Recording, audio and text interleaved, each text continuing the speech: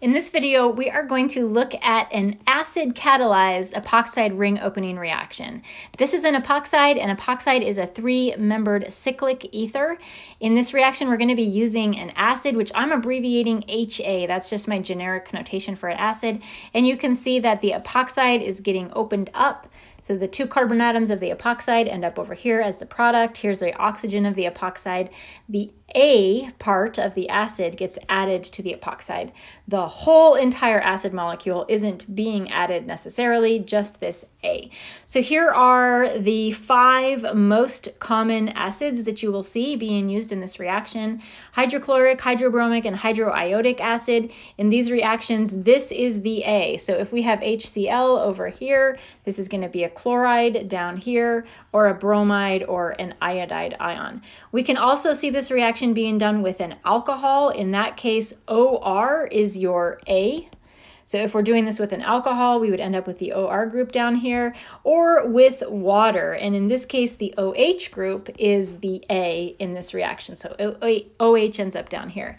If you're using either an alcohol or water, you're going to see this reagent combined with some acid, H+. plus. It's usually going to be written down underneath the arrow. That acid is necessary to help the reaction along. Let's take a look at the mechanism for this reaction. I've got this particular epoxide that we're going to use as an example, and we we are using an alcohol as our ring opening reagent. We've got a little bit of acid present for that. So this mechanism starts by protonation of the epoxide's oxygen, and that protonation is going to be done with the H plus that comes along with our acid or the water. If you're using HCl, HBr, or HI, the initial protonation is going to be done with the hydrogen of that particular acid. So the very first step that happens, all that we are doing here is just protonating that oxygen, not changing anything else. And this should kind of remind you of SN1, SN2 reactions where we were trying to protonate like a bad leaving group to turn it into a better leaving group. Once we get the epoxide protonated, we are then ready to use the acid um, the molecule, in this case the alcohol, to actually attack and open the ring. In this case, um, we're going to be doing the attack with lone pair of electrons on the oxygen from the alcohol. If we had water, it would be the same thing. We'd be using lone pair of electrons on the oxygen. If we were using HCl, HBr, or HI, we would be using the chloride ion or the bromide ion or the iodide ion for this next step. When it's time to attack, we have to decide which carbon of the epoxide is going to get attacked. So we already know that we're going to be attacking with the oxygen of this of the alcohol. Are we going to attack at this carbon or are we going to attack over here? The, the um, position or the placement of the attack in this reaction is a little bit funny. So in terms of attacking, the acid attacks in the ring a tertiary carbon first. If there is a tertiary carbon in this ring, that's the carbon that is going to get attacked. Um, and that would be a tertiary carbon would be one that has zero hydrogens on it. We do not have a tertiary carbon. We have uh, two hydrogens on one of our carbons and one hydrogen on the other.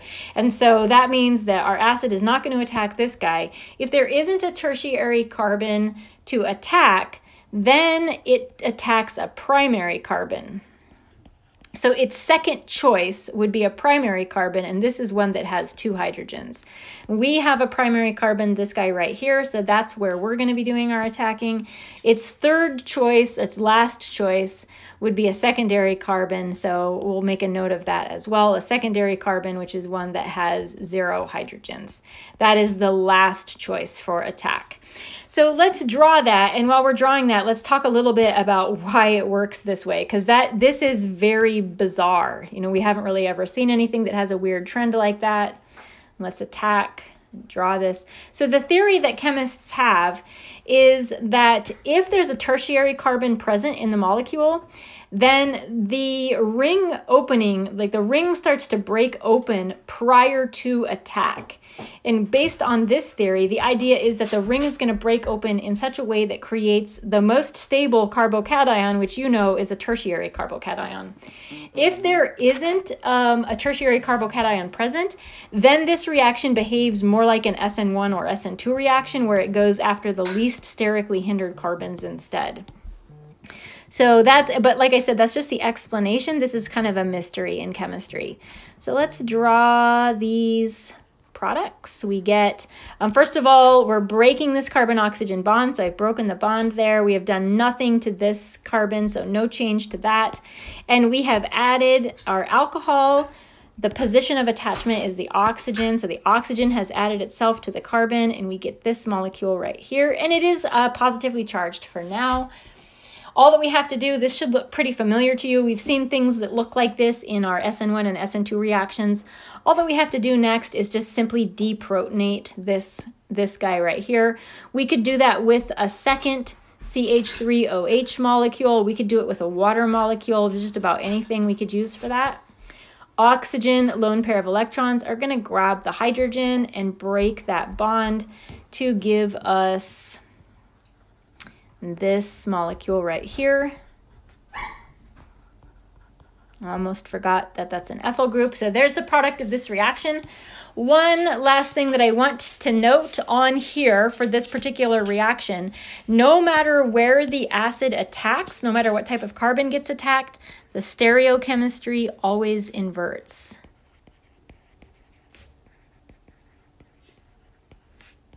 Now for this particular example, the carbon that we were attacking, the carbon that got attacked in this reaction, is not chiral. It wasn't chiral and it did not become chiral. So we didn't have to worry at all about inversion of stereochemistry, but that will not always be the case. So you got to keep in mind the carbon atom that you're attacking, the stereochemistry is always going to invert.